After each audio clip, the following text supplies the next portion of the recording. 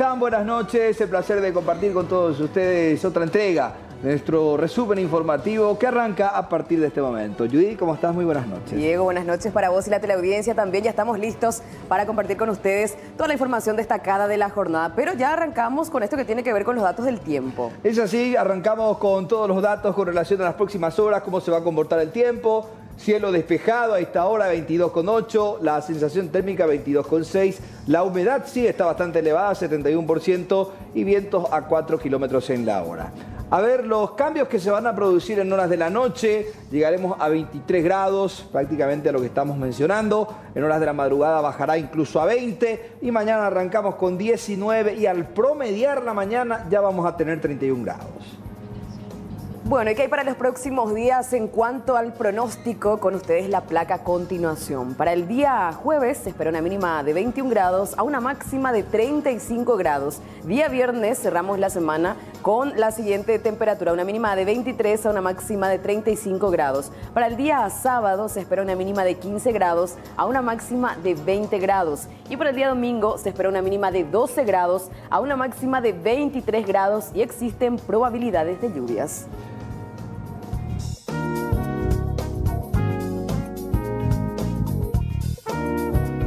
Y estas son imágenes que corresponden al trabajo que se ha desarrollado hoy. Aparentemente ya se ha logrado controlar los principales focos de incendio. Sí, hay que estar alertas y precisamente nuestro compañero Lorenzo García está acompañando los trabajos. Sí, porque ahora el trabajo consiste en el enfriamiento para evitar que se vuelvan a avivar los focos de incendio en la zona que es lo que se venía produciendo últimamente. Pero está listo nuestro compañero Lorenzo García. Tengo entendido que acaba de llegar el ministro de la SEM, Joaquín Roa, y nos va a hablar un poco al respecto. ¿Cómo estamos, Lorenzo? Buenas noches. Hola, ¿qué tal? ¿Cómo estás, Judy? Buenas noches para vos, para Diego, para toda la teleaudiencia, Canal 9 Noticias y justamente para Visión también. Nosotros estamos aquí en, compañía del ministro Joaquín Roa, precisamente para hablar de esta situación crítica que lastimosamente está padeciendo el Chaco paraguayo con relación a los incendios forestales que se están viviendo ya desde hace un buen tiempo y bueno, lastimosamente a pesar del esfuerzo que está poniendo el gobierno nacional de tratar de sofocar todo esto, se sigue justamente incendiando varios sectores. Bueno, ministro, ¿Qué se puede decir con relación a esto?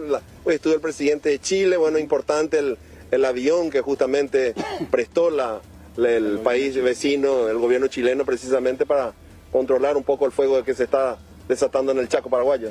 Bueno, eh, eh, es correcto, el presidente Piñera estuvo hoy eh, con el presidente Audo Benítez. con un aporte importante, un avión AT-802 con una capacidad de 3.000 litros de descarga de agua. Eh, eso nos va a venir muy bien. Yo ahora salí a las a la tarde de base 5, Adrián Jara, bajé en Concepción, ya mantuve una primera reunión de coordinación tanto con los ingenieros de vuelo como con los pilotos eh, a efectos de coordinar mañana ya un primer lanzamiento. Dado que en, en Bahía Negra, a, a 13 kilómetros de Bahía Negra, eh, se nos presentó un foco importante hoy. Como te explicaba fuera de cámaras, eh, la semántica un poco del, fuego es así, ¿verdad? De mañana temprano eso no, no, parece que no, se activa y en la medida en que el viento aumenta y el sol calienta, este, los focos eh, ígneos que quedaron en la noche, bueno, eso se vuelve a activar, ¿verdad? Ya habíamos dado nosotros, por ejemplo, en la reserva Choboreca, donde estuve este, dos días eh, coordinando las tareas. Ayer, como te decía, eh, a punto de informarle yo al presidente que ya no teníamos foco, ¿verdad? Eh, amanecimos hoy haciendo una observación de mañana con el UH, con el helicóptero, y no habían focos, ¿verdad? Entonces esperamos a la hora pico, como le llamamos nosotros, que es entre las 12 y las 3 de la tarde y bueno, lastimosamente nos encontramos con cinco focos, pero ya previendo esto, eh, nosotros creo que ahí se publicó la foto en, las redes sociales, este, hicimos una, una picada hasta una parte este, estratégica dentro del monte, en donde abrimos con máquinas, motosierras, con personal de Fuerzas Armadas, bomberos voluntarios de la Secretaría de Emergencias, abrimos un helipunto en donde instalamos un tanque de 10.000 litros. Atendemos la, la, como, como el, ingenio ¿verdad? de los muchachos, estudiamos, dimos la vuelta, en donde también un señor productor, don, don Egon Neufel, eh, quien nos compró el, el tanque de 10.000 litros eh, y contamos con el apoyo de un tanque de 10.000 litros que se estira con tractor. Le pusimos una, una bomba de, poder importante. Entonces, cargamos el tanque de 10.000 litros y el helicóptero con el Bambi, eh, con el apoyo de sus ingenieros y mecánicos, él cargaba los 1.000 litros en el Bambi y se desplazaba hacia los focos que estaban efectivamente relativamente cerca. Eh, tiramos durante el día de hoy casi 7.000 litros, pero lastimosamente no conseguimos extinguir. Interín en Bahía Negra estábamos combatiendo también con un Bambi. Eh, en Bahía Negra la, condición es diferente porque hay agua cerca, ¿verdad? Sin embargo, en base 5 ya es mucho más complicado, ¿verdad? Los tanques australianos y los tajamares están distantes, entonces eh, por, también por el viento y, el péndulo y el peso que genera el Bambi, eh, se reduce la velocidad, hay más consumo de, combustible. Eh, entonces lo que hacemos es buscar una fuente cercana a los focos que están esparcidos en, un determinado, en un determinado lugar. Hemos logrado eso en, en, en base 5 pero no así en Bahía Negra. Entonces lo que conversé hoy con los pilotos chilenos y los técnicos del CONAF eh, es hacer un primer lanzamiento mañana en esa zona. Vamos a tener un avión señuelo que nos facilitaron productores de la zona, una gestión del presidente de la República con don Egon Neufeld. Eh, este avión señuelo se va a presentar en, en Fuerte Olimpo. ¿Y cuál es lo que es el trabajo del señuelo? Él va a ir a buscar en la hora indicada eh, aquellas fumarolas que puedan observarse, eso se va a georreferenciar y vamos a pasarle al avión tanque. Pero por de pronto hemos preparado un primer lanzamiento a 13 kilómetros de Bahía Negra, que es donde tenemos georreferenciado, y hoy creo que el Bambi tiró ahí como 13 cargas, son 13 mil litros, ¿verdad? Solo que son de a mil. Entonces, ¿cuántas bases están afectadas y cuántos focos de incendio hay todavía? Eh, ¿A qué te referís con bases? Eh, menciona base 5, ah, Bahía Negra. Ah, ah, entonces, base 5 es Adrián Jara, ¿verdad? El distante 200 kilómetros de, Bahía Negra. Entonces tenemos dos frentes, ¿verdad? El, queremos destinar al avión chileno a toda la zona de, de Tres Gigantes, el Pantanal, Bahía Negra. Eh, y el presidente entiendo que consiguió otro avión tanque y esperamos poder destinar este avión a la zona de Choboreca. Eh, ya para la extinción total de los focos que están activos o que estarían activos en el día de mañana eh, y o ya el enfriamiento. El enfriamiento, el enfriamiento lo vamos a hacer entre la zona quemada y la zona que no está quemada. Entonces vamos a tirar agua eh, en todo ese límite entre lo quemado y lo no quemado para que aquellas partículas en ignición que se encuentran del lado quemado no nos generen problemas eh, con, el, con, la hojarasca y el combustible que está del otro lado.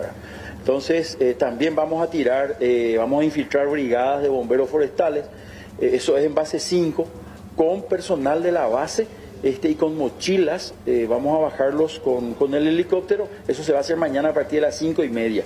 Y ellos ya van a empezar a recorrer ese límite que te estoy diciendo, entre lo negro y lo que todavía no se quemó. Entonces, eso nos va a dar ya la tranquilidad y finalmente el enfriamiento que pensamos hacer con estos aviones que me tocó ver ahora en Concepción. Eh, son máquinas este, grandes, de un porte importante, eh, tienen una capacidad de, vuelo de seis horas. O sea, eh, son aviones que, bueno, nos pueden servir muchísimo, ¿verdad? No solamente en desplazamiento, sino que también en lanzamiento de agua. Y eso va a depender de la logística que montemos en Olimpo, y eso va a radicar en tipo los autos de Fórmula 1, en la rapidez con que nosotros podamos conectar este, Ministro, en cuanto al daño a la naturaleza en sí, ¿ya se pudo hacer una evaluación de todo lo, dañado o todavía es muy prematuro? Bueno, eh, como te decía fuera de cámaras, el, rol de la Secretaría en este momento dentro de este círculo eh, es el del combate, ¿verdad? es la protección de lo que aún queda. Eh, este, con el apoyo de los bomberos, Fuerzas Armadas, el apoyo del mismo presidente de la República, eh, pero quienes nos van a dar datos precisos en el expos eh, van a ser las instituciones que poseen las plataformas del rigor científico y los técnicos, llámese Infona, eh, llámese Facultad de Ciencias Agrarias, llámese Ministerio del Ambiente. Entonces, yo no me atrevería. Ahora, Sí me atrevo a decirte de que eh, por lo que yo viví, vi, porque estuve caminando ahí abajo, estuve observando desde arriba, estamos eh, por arriba de las 25 mil y posiblemente voy a quedar corto. Entonces, eh, y seguramente los daños lo van a identificar los biólogos, los técnicos, quienes ya estuvieron con nosotros en Bahía Negra, ¿verdad? Los técnicos del MADE, son biólogos, fueron, fueron dos biólogos este, y voluntarios veterinarios que ya hicieron un estudio preliminar eh, y que bueno, seguramente los resultados van a estar... Eh, Pero ¿cómo se originan estos incendios? Eso es lo que siempre quise saber cómo, cómo se propaga después. Bueno, eh, lastimosamente tenemos que decir de que el 99,999% de, de estos tipos de eventos se generan necesariamente por acción humana. Va y se Negligencia, intencionalidad, descuido o lo que fuera, ¿verdad?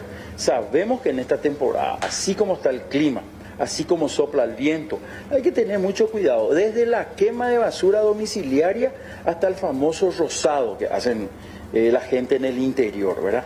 Hay incluso también este, eh, eh, agricultores o productores con, hectáreas importantes, con una extensión importante, y ellos suelen hacer lo que se llama quema prescrita, es decir, se toman los recaudos, se hacen eh, los cortafuegos, se tiene en cuenta velocidad y dirección del viento, bueno, y se hace el rosado. Pero en, en muchos de los casos, o, o, en, gran, en gran parte de los casos, hemos tenido experiencia de que la quemazón prescrita y controlada en algunas veces se sale de control y tenemos este tipo de, eventos con los cuales nos estamos enfrentando ahora. Ahora, lección aprendida, como me dijo el presidente de la República, todo el año vamos a martillar en la educación, concienciación, eh, materiales de prevención.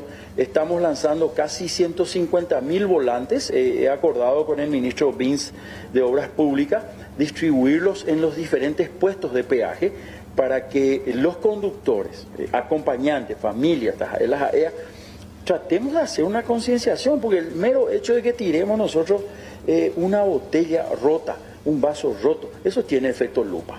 Eh, y es muchas de las veces estos incendios que nosotros vemos que se inician en la ruta es porque ha sido un descuido del ser humano, ¿verdad? Entonces vamos a apelar a la gente. Por último, ministro, ¿en cuánto tiempo estima que se va a controlar los incendios en el Chaco? Mire, con los recursos que tenemos ahora de apoyo aéreo, eh, es, no, no quiero dar eh, una, una fecha, la última vez di una fecha de la llegada de un camión y bueno, todo el mundo sabe lo que me pasó, ¿verdad? Eh, pero yo estimo que en corto periodo de tiempo, ¿verdad? Regresa mañana, mañana cerrar con un segundo avión. Si bien el presidente Piñera autorizó la venida de dos aviones más, entiendo que ya dispongo de otro avión en, en Asunción. Mañana me voy a encargar de eso voy a conversar con el presidente a ver cómo... Uno, dos, dos, dos, tres días, cuatro. Vamos a ponerle cinco días, ¿verdad? Espero, no quiero arriesgar las... ¿Usted va a volver a la zona donde está justamente? Yo mañana quiero hacer una revisión del operativo retorno, no porque esto haya ocurrido, nosotros vamos a descuidar este, el, rol misional de la Secretaría de Emergencias, entonces mañana seguramente voy a estar visitando un poco los bañados también para ver las condiciones ambientales eh, y cómo se está llevando adelante el operativo retorno. Estoy entrando en temporada de tormentas severas y granizos. Tengo que ver también toda la previsión de insumos, del personal que va a ser preposicionado en cada alerta que nos lance la Dirección de Meteorología.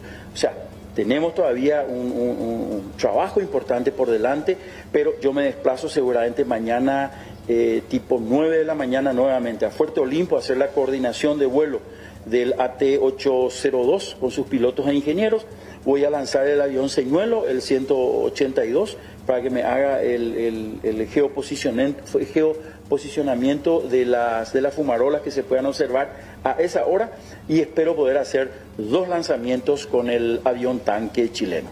Muchísimas gracias, ministro. Bueno, así lo escuchamos entonces al ministro Joaquín Rúa. Él acaba de llegar justamente de esa zona afectada del Chaco Paraguayo. Mañana va a estar nuevamente a las 9 de la mañana, bien lo estaba explicando. Y bueno, a partir de ahora, en 4 o 5 días, se estima que podría estar controlado esos, esos incendios justamente con la ayuda de estos aviones que llegaron del país chileno. Perfecto, muchísimas gracias Lorenzo. Bastante claro, por cierto, el ministro de sus explicaciones con respecto al trabajo que están realizando y lo que queda por hacer todavía. Claro, van a continuar en la zona y va a volver a verificar ese lugar el ministro Joaquín Roa.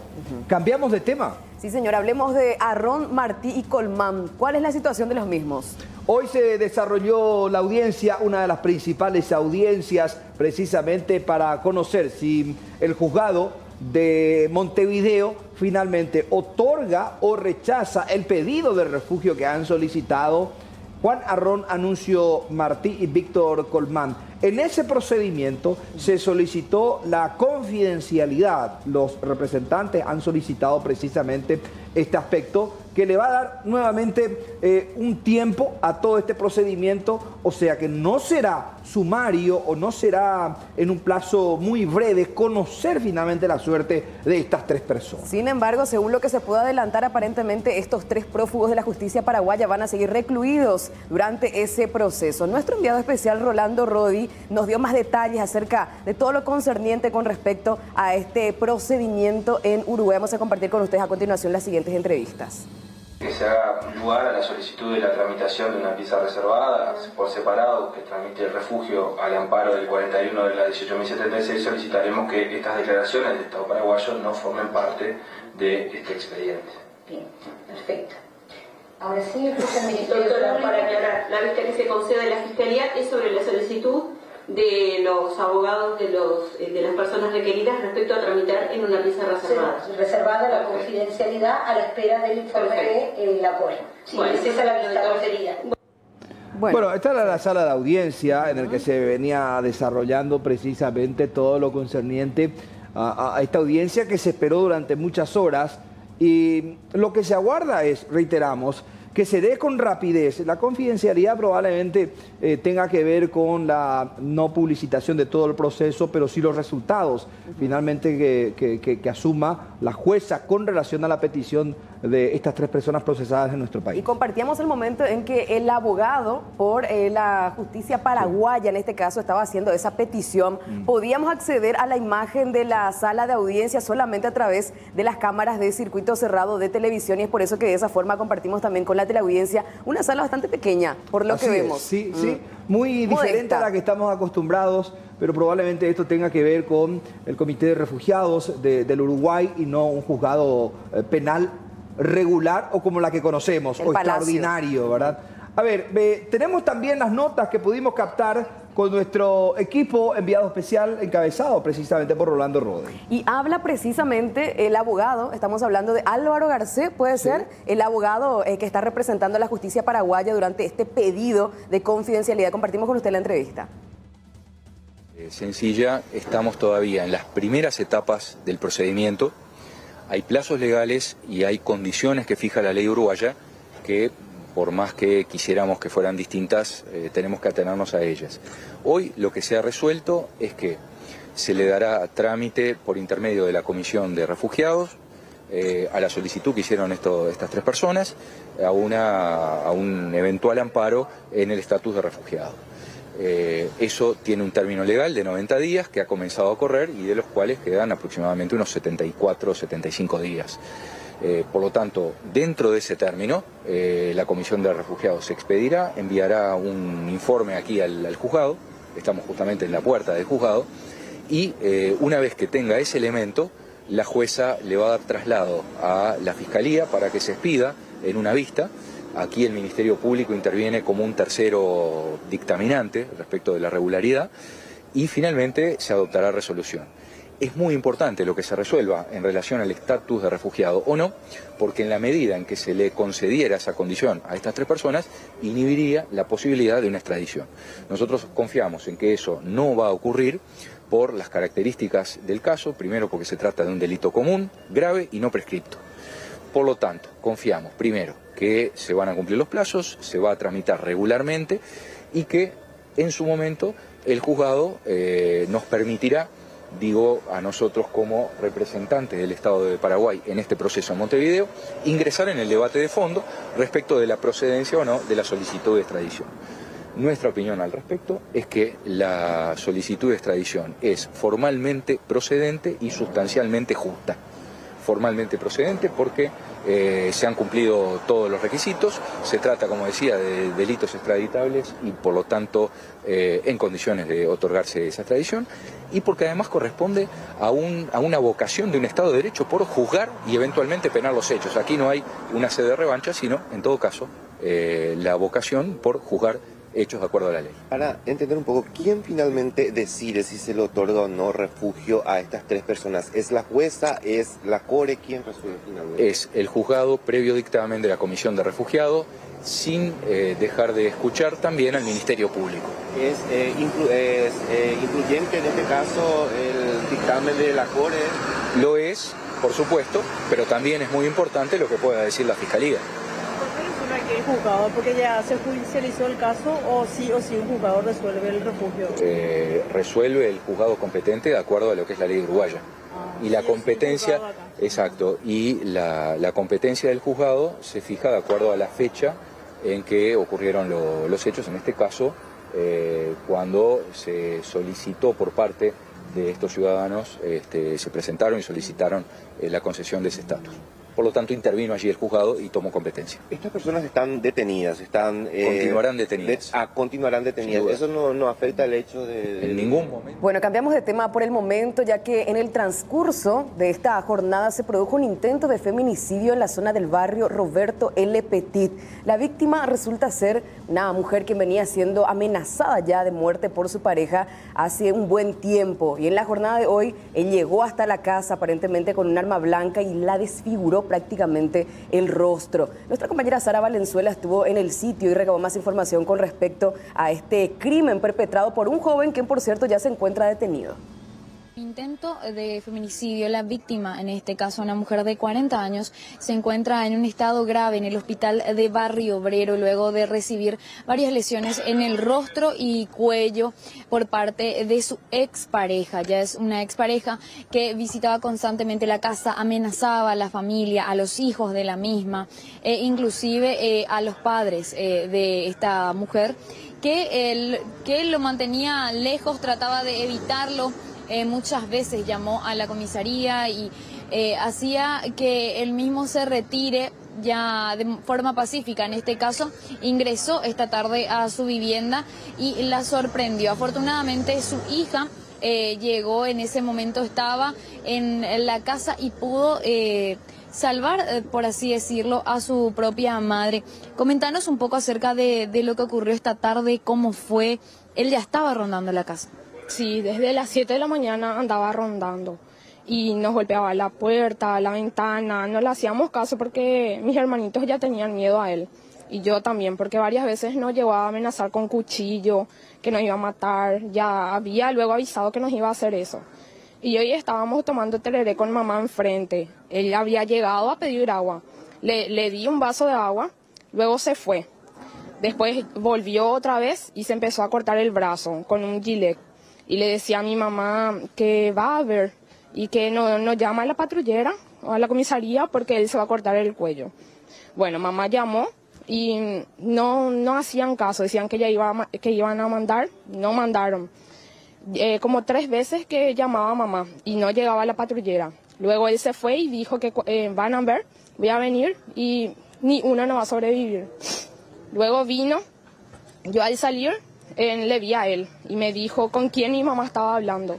Y yo me quedé toda así dura y no le, no le supe responder. Ahí fue que él me empujó, entró a mi casa y ya le empezó a perseguir a mi mamá. Le llevó hasta el baño y ahí le empezó a clavar. Le desfiguró todo su cara. Yo me fui, me puse por él, le empecé a empujar, pero no podía, se le iba otra vez. Ahí fue que mi amigo entró también, entre los dos le empezamos a empujar. Eh, él venía como para clavarnos a nosotros, pero como que mi hijita estaba llorando y me gritaba mamá, él le miraba otra vez a mi hijita y se le iba a mi mamá. Después él, mi amigo le empujó a Ismael, mi padrastro, y ahí fue que yo le empecé a pegar con palo porque no, no le soltaba a mi mamá. Le llegó a abrir el labio, la cara, su cuello. Y yo no pensé en eso, en, en qué le va a pasar a mi padrastro. Solamente pensé en mi mamá y no sabía ni, no, no tenían, no pensé en que iba a llegar a eso, ¿verdad? Y se empezaba a reír, se reía, se reía y dijo que se iba a ir por mis hermanitos que están en la escuela. Ahí fue que yo le grité y salí afuera. Mis vecinos escucharon todo y le persiguieron a él. Y se tiró en la zanja, no le pudieron agarrar. Aquí el comisario principal nos va a comentar también acerca de este hecho y acerca de los datos, porque finalmente este hombre fue detenido luego de que escapó de, estos jóvenes que auxiliaron a, la familia, porque hablamos de, varios amigos del barrio que trataron justamente de auxiliar a esta mujer y de detener a este hombre que es eh, ya conocido también de la zona por andar atemorizando a esta familia. Entonces eh, se escapa y posterior a eso es eh, detenido por la policía ya eh, en la patrullera, detenido precisamente por el comisario que ya se encuentra aquí. Vamos a, vamos a conocer también el procedimiento y en qué momento ustedes reciben el llamado de estas personas. Y el hecho ocurrió a las 17 horas aproximadamente. Recibimos una llamada telefónica por parte de Base 3, nuestra radio de frecuencia, y acudimos dos patrulleras en el justo estuvimos por la zona, estuvimos dos patrulleras, ni minutos. Personal mío ya procedió a derivar a la señora que estaba ensangrentada hasta el hospital de Barrio Obrero. Y yo me quedé con otro personal, hicimos una requisa en una de las casas y estaba bajo el colchón el, este sujeto, es que es el actor del hecho. ¿Cuál es la identidad de, de este hombre? Sí, el señor es Nilo Ismael Flor Minella paraguayo soltero de 40 años de edad. ¿Cuenta con algún antecedente? No, no tiene antecedentes. En, nuestro sistema informático revisamos y no figura con antecedentes. ¿Qué fue lo que él les manifestó en el momento de la aprehensión? Nada, prácticamente nada. Estaba choqueado porque tenía, estaba todo ensangrentado el muchacho, ¿verdad? Y le preguntamos cómo ocurrió eso y según él que fueron vecinos que le estaban apedreando a, él y por eso ingresó en una casa y se resguardó en, esa, en ese domicilio ajeno.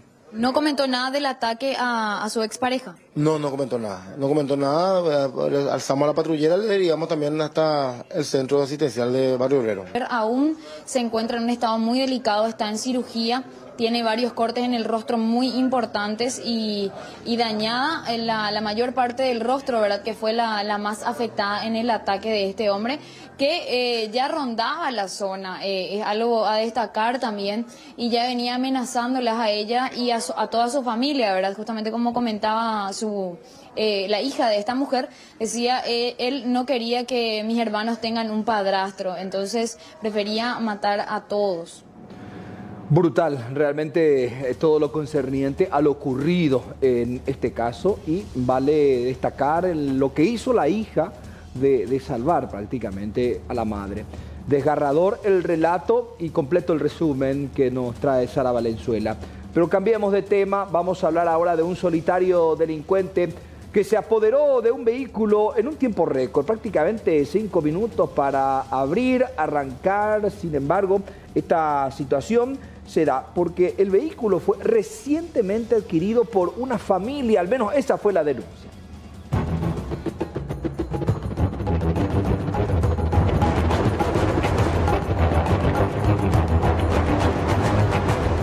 Imágenes captadas por circuito cerrado evidenciaron el momento en el cual un solitario delincuente se apropia de un vehículo estacionado sobre las calles Cerro Corá, casi Soldado Velar en Fernando de la Mora, zona sur. Eran cerca de las 4 de la mañana cuando aparece y con mucha rapidez ingresa al habitáculo para en menos de 5 minutos apropiarse del vehículo. Escapó con dirección a la avenida Defensores del Chaco. Un vecino intentó interponerse, sin embargo el ladrón amagó en vestirlo uno se siente impotente, ¿verdad? Porque no sé, o de repente, ¿dónde será que dejé?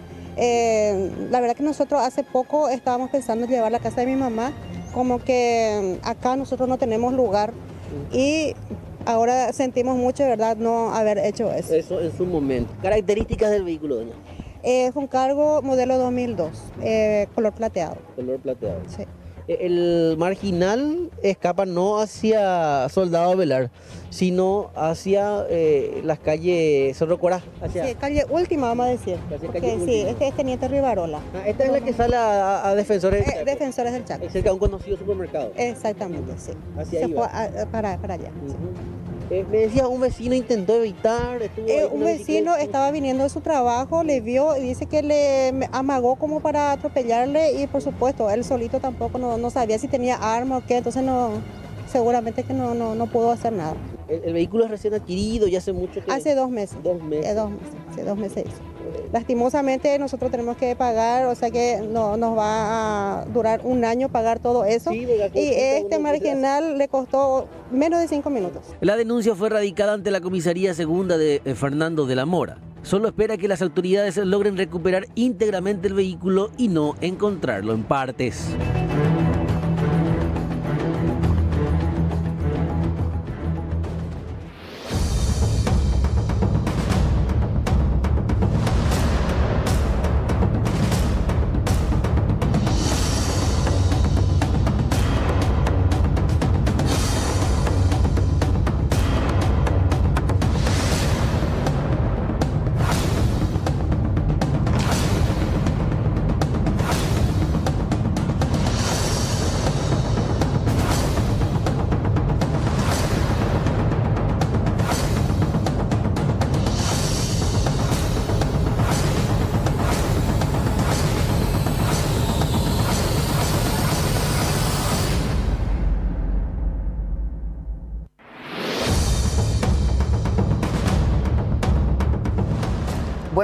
Tema, una humilde productora de la zona de Encarnación fue víctima de avigeos en horas de la noche. Los avivados, por cierto, aparte de hurtarle dos ganados, terminaron faenándolos en su propio establecimiento.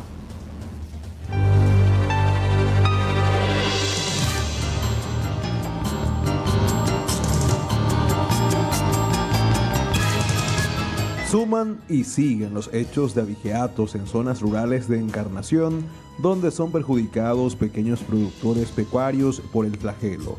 Un nuevo caso se registró en Itanguá, barrio encarnaceno en donde delincuentes mataron dos animales vacunos y llevaron ni siquiera la mitad de la carne, causando enormes perjuicios a las víctimas. Es, lamentable porque los, nos perjudica eh, de una manera eh, realmente perjudicial porque no, no, no, no se llevan el, el, animal entero. Son, es más perjudicial porque son pequeñas, pequeños pedazos, pequeñas eh, redes lo que llevan y el resto se, se queda en descomposición, ¿verdad? Y ya no, ya no, no, no, podés, eh, no puede ser utilizado, ¿verdad? Y ese, ese es nuestro, ese es nuestro pesar y con ese, con esa, con ese como los voy a decir, ese es un temor que cada día los que tenemos animal, ¿verdad? Estamos expuestos. En este barrio los hechos de abigeatos son constantes según los vecinos, quienes en muchas ocasiones ya por la falta de respuesta de los fiscales, quienes en teoría tendrían que investigar estos casos, ni siquiera realizan sus denuncias. Eh, esto va, va en aumento. Va en aumento. ¿Dos en una sola vez? Dos en una sola vez, sí. Dos eh, vacas lecheras, sí. Que, estaban produciendo, me imagino. Eh, una, una estaba amamantando y la otra estaba por parir, mm. estaba por dar. Sí. son tres entonces ahí con...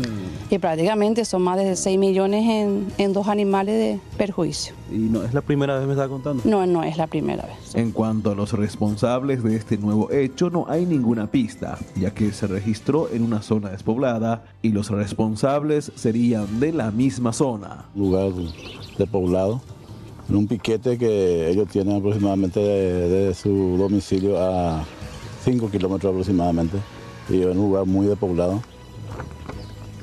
Esto es aprovechado por los delincuentes. Las víctimas solicitan la presencia de agentes especiales de la policía en la lucha de este flagelo, ya que los casos aumentan y los perjuicios son millonarios para los humildes trabajadores.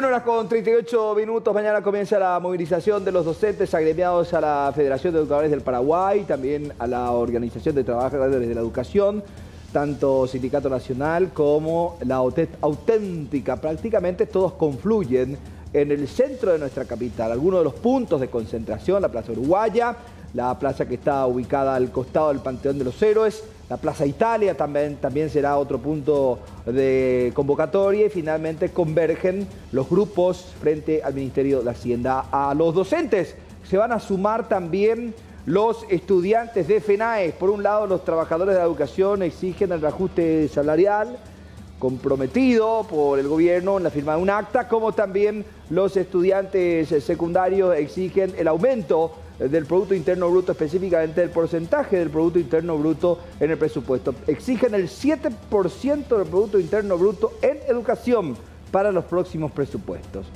Cambiamos de tema y vamos a hablar de los estudiantes del colegio Pedro Pablo Peña de la ciudad de Itagua. Luego de tres días de la toma del colegio, finalmente llegaron a un acuerdo y levantaron la medida de protesta.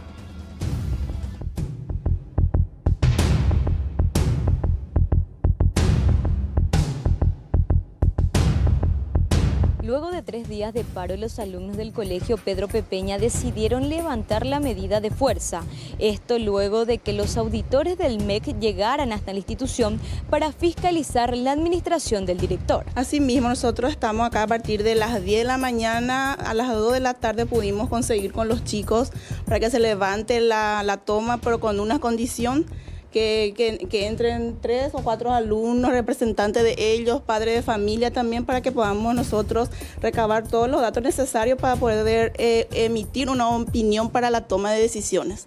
Nosotros vamos a estar acá hasta el 6 de septiembre. Y hasta ahora lo que nosotros podemos de repente, eh, no podemos emitir tantas opiniones porque estamos en proceso de análisis y lo que el director administró hasta ahora, de 2015 hasta la fecha, es más de 324 millones que él administró y que nosotros vamos a estar verificando la forma y la manera que él utilizó la plata pública. Ellos reciben 834 y gasto de capital que es 894. Nosotros vamos a verificar su gasto capital. Lo gasto capital tiene que comprar bienes. Si es que en su factura dice que compró eh, eh, computadoras, sillas o o qué sé yo, algunos bienes de capital, nosotros vamos a verificar in situ si en realidad se compró esa, esos bienes de capital. Y en cuanto a la gratuidad, como ya les expliqué al principio, más de 324 millones él administró. Nosotros vamos a estar verificando documento por documentos la manera que él rindió cuentas al, Estado.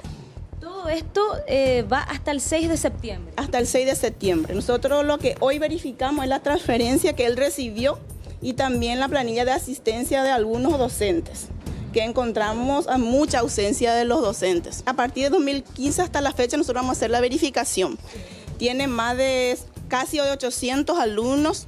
Nosotros vamos a trabajar docente por docente, transferencia por transferencia para poder emitir una, una opinión, como ya dije al principio. Los alumnos aseguraron que si no tienen una respuesta favorable en 20 días, volverán con la medida de fuerza. Tenemos condiciones, nosotros levantamos la toma como le estaba diciendo aquí la licenciada, levantamos la toma a las 2 de la tarde y los portones se estarán abriendo aproximadamente a las 8 horas de la noche. Em, así como también eh, hemos puesto también em, la puerta de la dirección se va a estar lacrando cada vez que terminemos el trabajo de, la auditoría. Se va a estar lacrando la dirección ya cuando al día siguiente se esté comenzando. nosotros vamos a estar también sacando otra vez esa lacración. Em, si no tenemos respuestas en 20 días hábiles, nosotros vamos a volver a tomar el colegio de una manera pública ya. Los auditores del MEC trabajarán hasta el 6 de septiembre aquí en la institución y según las informaciones que ya manejan, aparentemente sí existen irregularidades en la administración del director.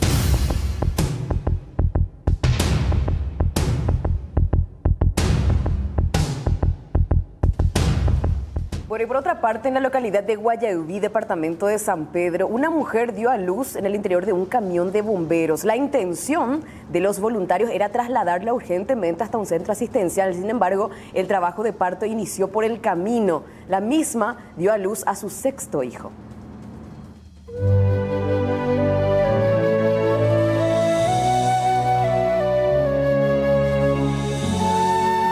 Sorpresa invadió a Sunilda Ríos, de 47 años de edad, y su pareja Héctor Sanabria en el barrio diocesano de Guayaibí. Ambos esperaban con mucha pasividad el nacimiento de su sexto bebé, y es que todavía faltaban algunas semanas. Sin embargo, la tranquilidad desapareció cuando en horas de la madrugada, Suni comenzó a sentir algunas contracciones. Llamaron a los bomberos de la zona quienes llegaron rápidamente para asistirla y llevarla hasta el hospital distrital de Santaní. Pero al parecer la pequeña estaba ansiosa de conocer a sus padres y decidió venir al mundo en pleno carro de bomberos con ayuda del papá y el voluntario Digno Llanes, quienes fungieron de parteros. una bebé que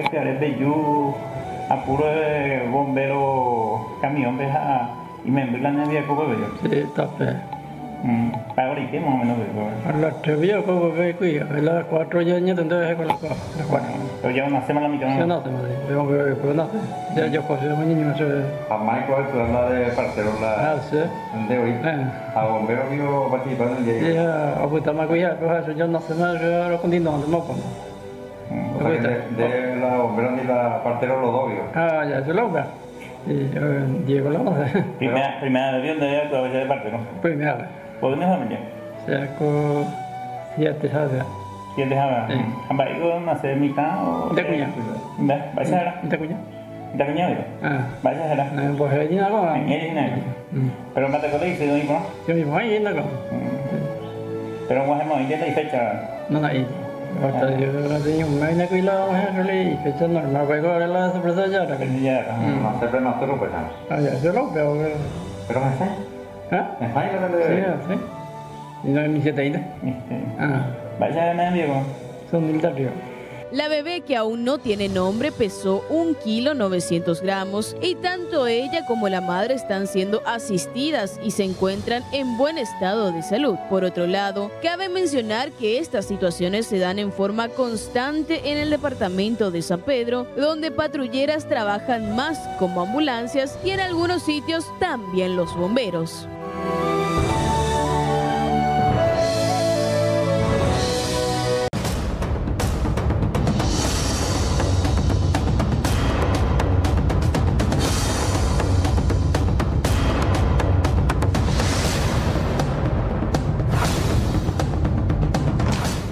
Imágenes que corresponden a este grave accidente de tránsito que se produjo sobre la calle Yegro en la intersección con la calle Luis Alberto de Herrera de nuestra capital hace aproximadamente una hora. Estas son las imágenes precisamente.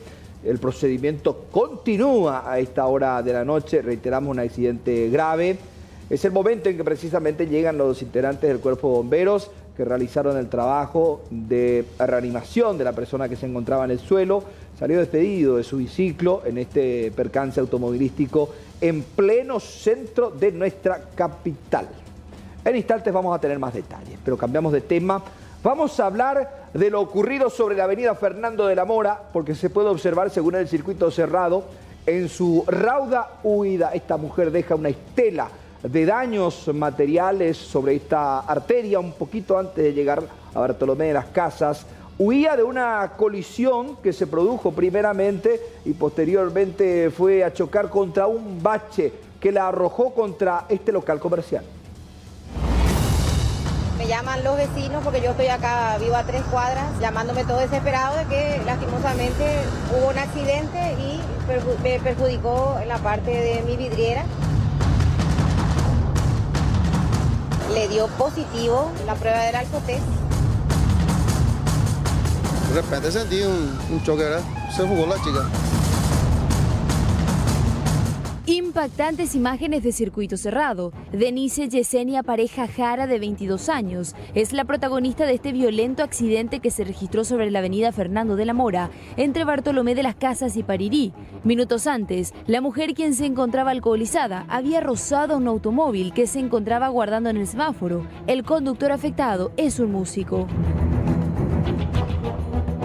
Estábamos viniendo de una actuación, un cumpleañito, y estábamos estacionados en el semáforo rojo sobre General Santos y Fernando La Mora. De repente sentí un, un choque, ¿verdad? Y no estando todavía en luz roja todavía, se, se fugó la chica. Se fugó la chica. Después yo esperé el semáforo verde y vine y encontré lo que ya estaba acá. ¿Vos le seguiste a la chica? No, pero esperé primero el semáforo verde. Rojo era, si no, si no, yo iba a chocar por todo el mundo ahí. Imagínate si le, le seguía en ese momento. Durante la precipitada fuga, y según se aprecia gracias a las cámaras de seguridad, la joven embistió un bache, perdiendo el control del rodado. Posteriormente se estrelló contra un local comercial y se llevó por delante otro automóvil. De milagro logró salvar su vida, pero los daños materiales son cuantiosos. Me llaman los vecinos porque yo estoy acá, vivo a tres cuadras y llamándome todo desesperado de que lastimosamente hubo un accidente y me perjudicó en la parte de mi vidriera. Y como pueden ver es bastante grande porque nos quedamos sin puertas, sin nada, hizo volar todas las mercaderías. Y estamos en eso. La chica tiene 22 añitos, ella le dio positivo en la prueba del alcotés. Y vamos a ver, vamos a ver en qué quedamos porque lógicamente no vamos a dejar que esto se quede así, es una pérdida bastante grande. Eh, ahora voy a tener que llamar a vidriero, carpintero, eh, herrero para que me puedan solucionar porque no estamos totalmente abiertos para, para lo que pueda pasar otra vez. La joven no contaba con su registro de conducir y tampoco con la cédula verde del rodado. Una vez realizada la prueba de alcotest, dio como resultado positivo con 0.66 de alcohol en el organismo. Denise Pareja fue demorada y posteriormente puesta en libertad porque acordó resarcir los daños ocasionados. Sin embargo, no deja de generar indignación el nivel de inconsciencia de beber alcohol y posteriormente manejar un automóvil. Recientemente la Cámara de Diputados aprobó un proyecto de ley que convierte en delito el acto de manejar alcoholizado, con pena privativa de libertad de hasta dos años dependiendo del nivel de alcohol en la sangre. Iniciativa que busca sancionar a los inconscientes que toman el volante, su vida y la de terceros.